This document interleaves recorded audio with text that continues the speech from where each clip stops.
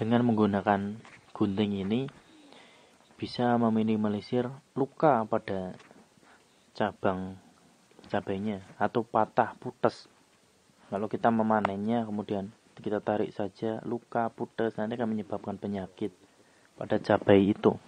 Selain menyebabkan penyakit, nanti hasil keduanya malah tidak bagus. Kesebrot bunganya jatuh dan lain sebagainya. Tapi kalau kita hati-hati memanennya seperti ini, maka nanti panen kedua akan lebih baik, akan lebih bagus. Dan satu lagi, ini tanpa pestisida. Ini ditanam biasa saja menggunakan pupuk organik, tapi hasilnya sangat luar biasa. Bersihkan dari gulma, rawat, sanitasi yang baik, pemangkasan yang baik, eh, pemangkasan, pemanenan yang baik. Saya yakin semoga ke sininya akan maksimal seperti ini. Salam sukses kawan, salam bertani. Dengan menggunakan gunting ini bisa meminimalisir luka pada cabang cabainya atau patah putus